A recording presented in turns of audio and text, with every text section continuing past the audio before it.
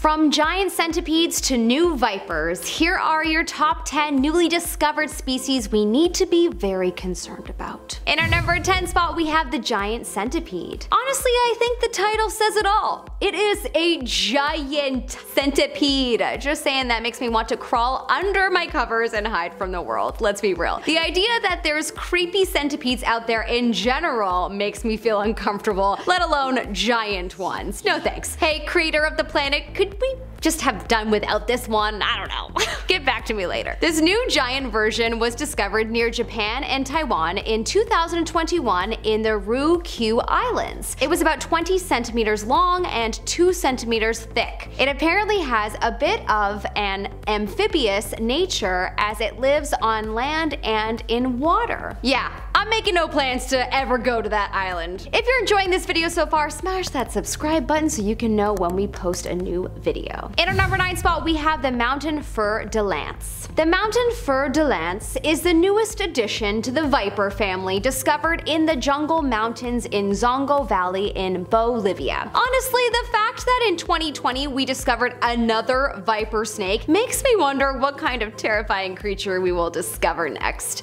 These snakes have excellent camouflage and are usually found lying around the forest floor, often in piles of leaves. They have these heat sensors that help them sense their prey. They are extremely venomous, as you can imagine, so you probably are best to stay clear of Zongo Valley, or all rainforests for that matter. Just joking, just be careful. In our number 8 spot we have the pig snout brittle sea star. Okay, as creepy as this new discovery is, the pig snout brittle sea star has actually been hiding deep in the ocean at 200 feet for a long time as a living fossil from the Jurassic period. Yeah, that's pretty awesome. It was discovered in 2015 in a barrel and it was collected also in 2011 in Bank Durand in the South Pacific. Why the name though? Well, it was given this name because of its eight long arms that look like many pig snouts snapped together. Just gross. Its underside apparently is filled with bristly, thorny teeth. So basically, it's a bunch of pig-like arms with creepy teeth on one side. Excuse me as I may go puke at the thought of this. In our number 7 spot, we have Eriovixia gryffindori. A new spider has been discovered, and all of us that would rather spiders did not roam the earth are not happy about it. But the only somewhat pleasurable thing about this spider is the fact that it was given a name based off of Harry Potter. Why does this make me like it and want to accept it? I don't know. The Eriovixia gryffindori was given an HP sounding name due to the fact that it looks like the sorting hat from the movie. And the people who discovered it are extremely cool, obviously. The spider has a very weird shaped body that arises from a very wide base and ends to a bent peak. The body is covered with tiny yellow and white hairs. I bet Ron Weasley would not be too thrilled to hear how a new spider has been discovered. God, I love him. Best HP character by far. Never mind, I take that back. Hermione's better. In our number 6 spot, we have the Potamotrygon rex. No, not a T-Rex or a dinosaur, even though it would be pretty awesome if we discovered a dinosaur existing. On second thought, if the Jurassic Park movies have taught us anything, it's never a good idea to bring back dinos. This new species is also known as the Great River Stingray, and it is a freshwater stingray. It was discovered recently in 2016 from the middle and upper Rio Tocantins in Brazil. It is a dark brownish blackish color and has small yellow spots on it. It is quite large and can weigh up to 44 pounds. It has gained the title of King of Freshwater in this Brazilian river and cannot be found anywhere else in the world. Pretty cool. In our number 5 spot we have the Scolopendra cataracta. Yep, that's a mouthful of a name. this newly discovered centipede species was found in Thailand and Vietnam. Honestly, creator, I ask you again, why another one? Could you not make another version of a dog for us to discover, you know, or a cat, or basically anything that doesn't have more than four legs? Apparently this centipede was named cataracta because that is the name of the waterfall that it was found in. It's apparently 8 inches long and has 20 pairs of legs. Creepy. In our number 4 spot, we have the Pheidole Drogon. Named after the dragons from Game of Thrones. I'm not joking. This ant, yes, you heard me, and has some appropriate characteristics that would lead to it being given this name. Honestly, when I was a kid, I loved ants. I was constantly observing them because, well, I don't know why. I was weird, whatever.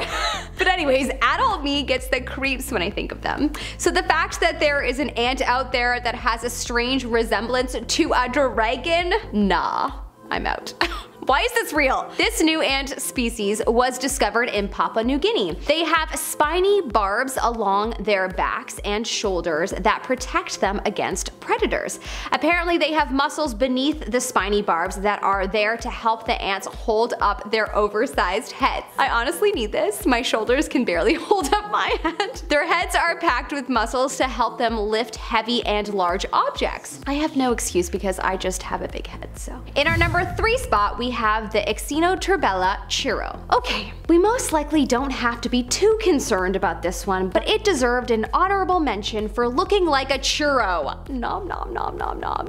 If you've never had a churro, it's a doughy pastry that is just delish. Would recommend. Anyways, of course this new species was given its name because it looks like a churro. It is a sea creature that was found in the eastern Pacific Ocean. It falls within a worm-like animal category, similar to a jellyfish, but it doesn't have tentacles and a few other jellyfish characteristics. It is a pinky purple color and apparently it is food for the mollusk. In our number 2 spot we have the ringed caecilian. Technically this snake was discovered about 2 centuries ago but only recently it was actually discovered that it has oral venomous glands and so it basically feels like we're getting to know this creature for the very first time. We're getting newly acquainted and forevermore we shall be way more cautious. This snake is black with rings around it and honestly it looks like it's straight out of a futuristic post-apocalyptic world movie. When these snakes are born, fun fact, apparently they feast on their mother's outer layer of skin with 44 teeth. So basically they are vampire